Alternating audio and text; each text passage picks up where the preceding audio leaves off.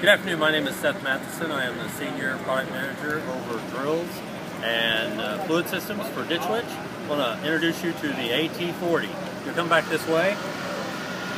AT40 is powered by 160 horsepower Cummins power. It has 360 feet of drill pipe on board, which is a patented drill pipe.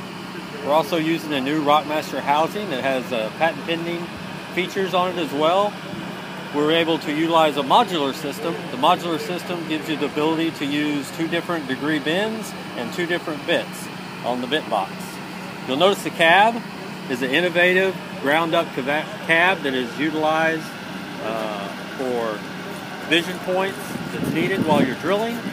The entry point, the wrenches where the pipe goes back in the, in the pipe box, and the saver uh, lock system. This cab is designed for HDD and is a ground up. Another key feature on the AT40 is all of our uptime components, whether it's our manual mode or its backup slides, whatever your job function, it keeps your uptime up, and your downtime down. That's just a quick bit on the AT40. You have a great show.